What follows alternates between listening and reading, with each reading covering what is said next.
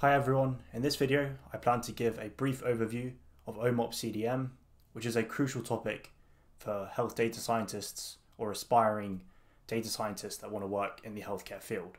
One of the biggest challenges we face in health data science is data standardization.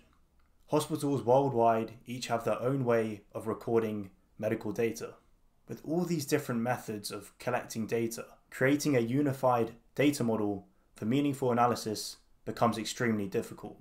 The OMOP CDM, which stands for the Observational Medical Outcomes Partnership Common Data Model, was designed to solve this problem. It helps us transform diverse healthcare data into a common language, so researchers and healthcare providers can combine and analyze healthcare data seamlessly. So, how does OMOP CDM actually work? OMOP CDM is a relational database model, meaning it's structured in tables that contain different aspects of healthcare. These tables are grouped into sections such as clinical data, health systems, and health economics. This standardized structure allows researchers to work with a consistent format no matter the original data source. OMOP CDM have standardized vocabularies which allow the organization and standardization of medical terms, some gathered from globally recognized coding systems such as ICD 10, SNOMED, and RxNorm. This means that specific codes represent specific medical concepts such as procedures, drugs, or conditions. For example, if we want to look at pancreatic cancer, we can refer to its code in the OMOP CDM. This consistency means new medical discoveries can be easily integrated by simply just adding a new code. OMOP CDM is especially valuable for institutions that are using a federated data model. This model keeps each hospital's data within its own servers, ensuring patient privacy and compliance with data protection standards such as GDPR.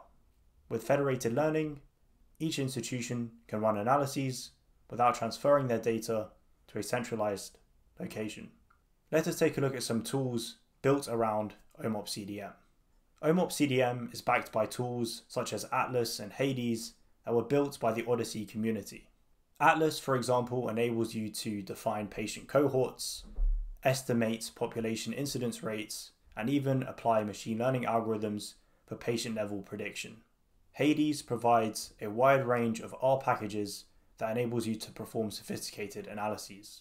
Such tools makes it possible to run complex healthcare analyses and also promote reproducibility.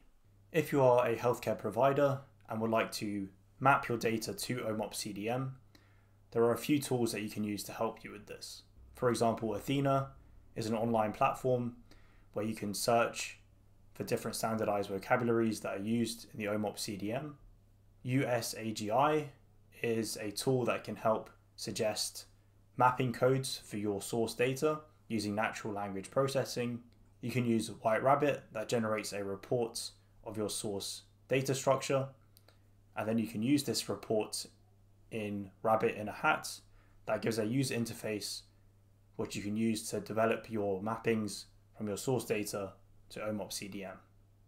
Looking forward, OMOP CDM has massive potential not just in healthcare but other fields such as public health and environmental health, incorporating data from these fields can give a more holistic view of patient health.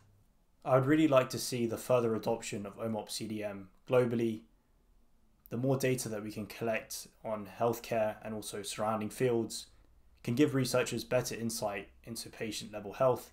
In addition, with the development of AI and machine learning, we can use vast amounts of data to enhance our predictive models as OMOP CDM continues to grow, we're looking at a future where healthcare data is not only standardized, but also globally interoperable.